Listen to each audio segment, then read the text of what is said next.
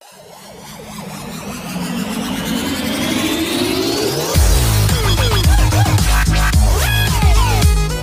الله الرحمن الرحيم والصلاة والسلام على أشرف المرسلين سيدنا محمد عليه أفضل الصلاة والسلام. أحبائي الأعزاء أحبائي في الله إزيكم؟ عاملين إيه؟ يا رب تكونوا كلكم بخير. آه معاكم أبو زياد من قناة شاهد وافهم متعلم منوعات على اليوتيوب. آه النهاردة حبايبي إن شاء الله هنستكمل مع حضراتكم بإذن الله تعالى آه موضوع آه، مفسدات الأخوة والحاجات اللي بتفسد الأخوة بينا. وأدينا شايفين يا حبايبي دي مقدمة كده. أدينا شايفين في الوقت الراهن وفي الوقت الحالي إيه اللي بيحصل وإيه كمية الأموات اللي بتموت وإيه كمية المصابين وإيه كمية الحوادث. وإحنا أصلا ما بنرجعش نراجع نفسنا كويس. نقول والله ده أكيد ده في خلل فينا أو في عيب فينا لكن إحنا الدنيا واخدانا آه، زي الرسول عليه الصلاة والسلام آه، لما الصحابة كانوا بيسألوه فيما معنى الحديث آه، إن الأمة الأمم كلها تتداعى علينا وتتكاثر علينا وتتكالب علينا. فقالوا له الصحابة فيما معنى الحديث أيضا آه، وهل إن نحن قلة يا رسول الله؟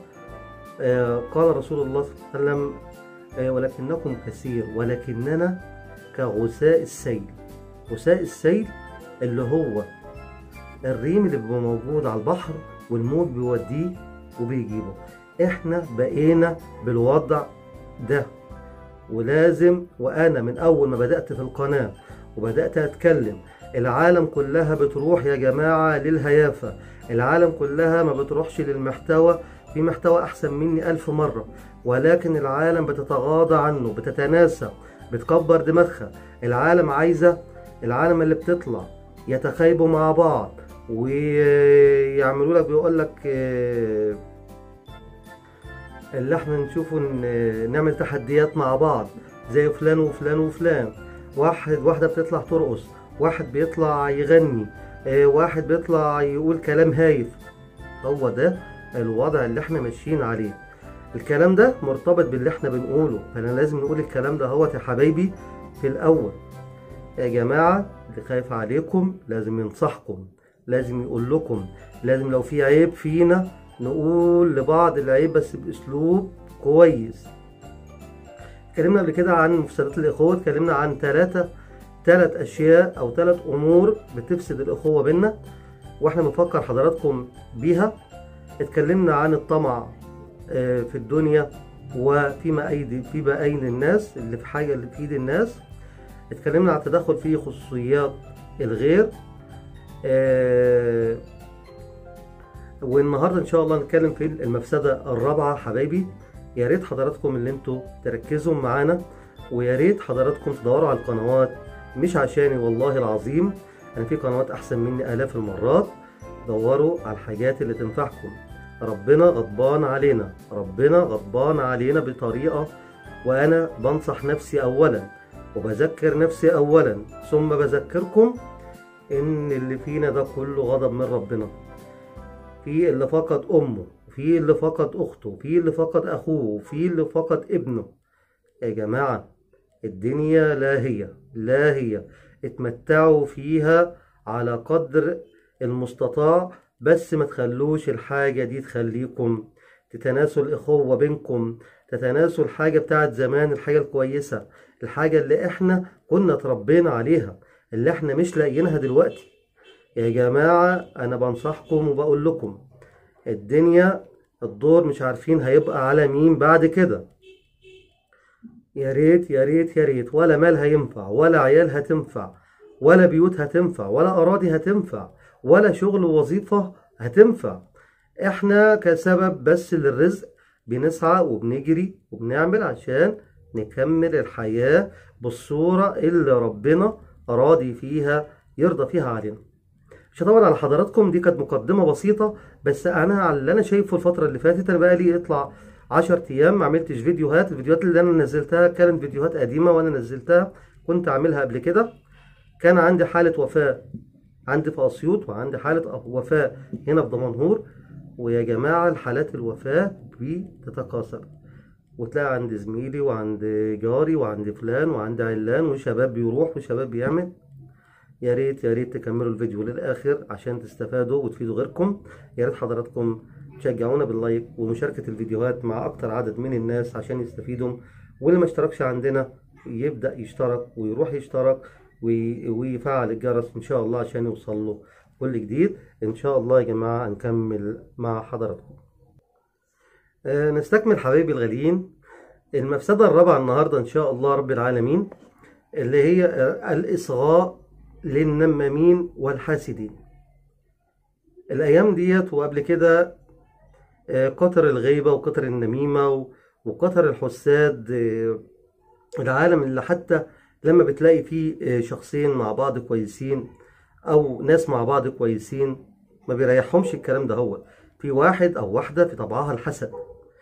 هي عندها ربنا كرمها أو الكلام ده هوت ورغم عن كده بتبص في اللي في إيد غيرها أو هو بيبص في اللي في إيد غيره.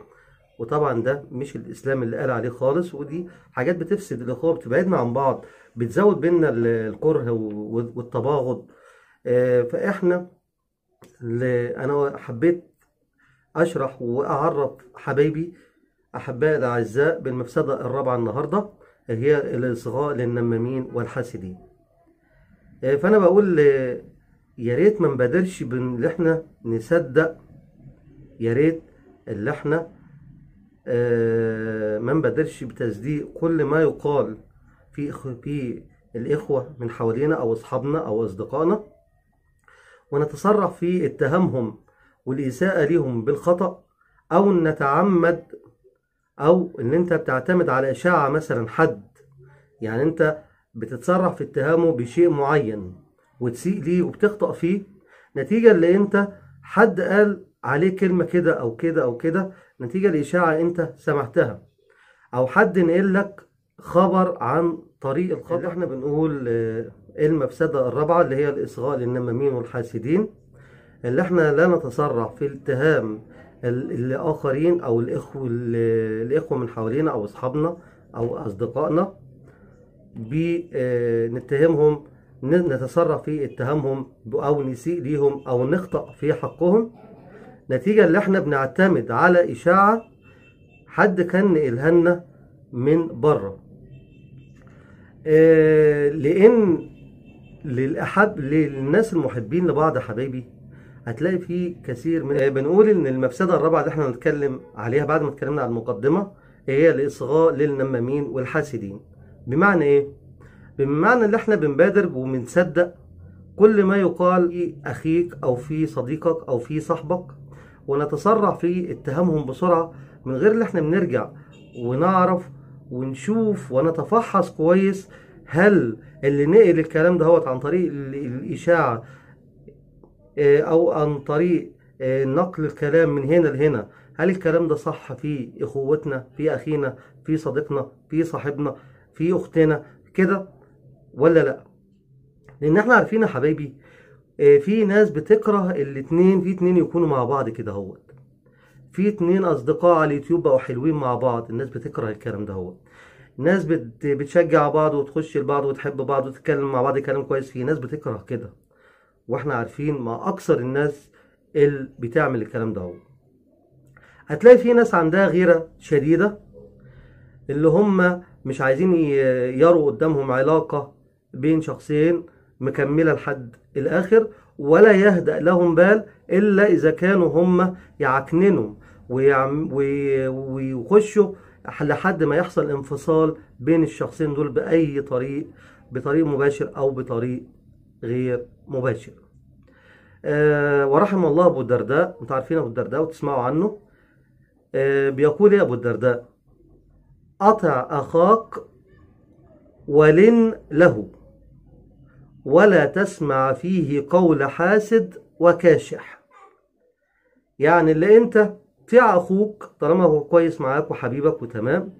وخليك لين معاه وسهل في الكلام وسهل في المعاملة.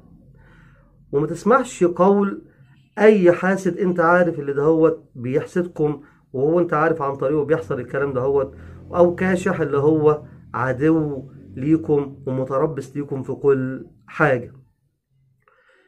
آه، بيقول أيضا آه، غدا يأتيك أجله. فيكفك فقده. يعني أنت مستني لما أنت تبعد عن الأخ دهوت وبعد كده يجي لك فقد ليه. وبعد كده بيقول لك كيف تبكيه بعد الموت وفي الحياة تركت وصله. معنى إنك لو عاتبت أخوك دلوقتي خير من إنك تكون فقد ويقولوا لك اللي فلان الفلاني ده هو توفاه الله فأنت ترجع تحزن عليه وتبكيه بعد إيه؟ بعد فوات الأوان. فأبو درداء بيعلمنا حاجة كويسة بيقول لك اطع أخاك ولنه ولا تسمع فيه قول حاسد وكاشح. غدا يأتيك أجله فيكفك فقده فكيف تبكيه بعد الموت؟ وفي الحياة تركت وصله.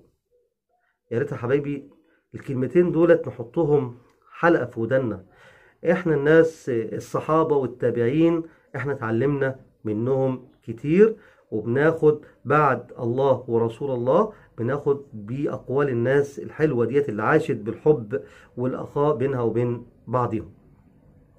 من الأمور الهامة اللي لازم إحنا ننتبه إليها حبايبي اللي أنت ب- قد تكون سبب في إثارة الأعداء والحاسدين والكارهين بسبب شدة إظهارك لحب صاحبك أمامهم.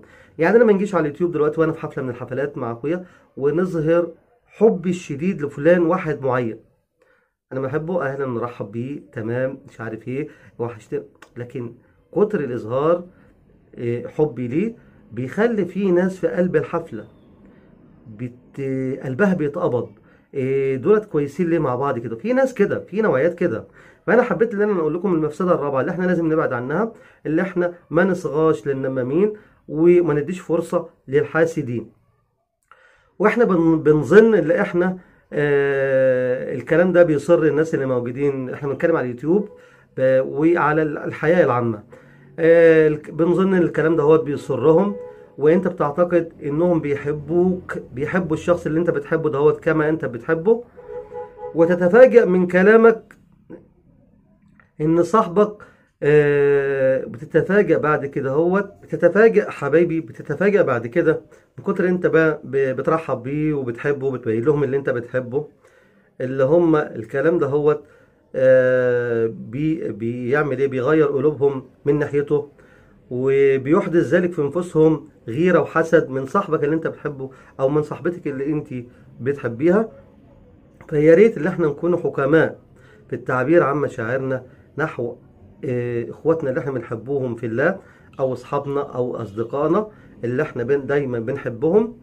آه، في حضور الآخرين. من ما نزودش الحاجة عن حدها لأن اللي بيزيد عن حده بينقلب. بنبقى بيت واحد ونبقى عائلة مع بعض. بيت كفريح بيت فريح بيت.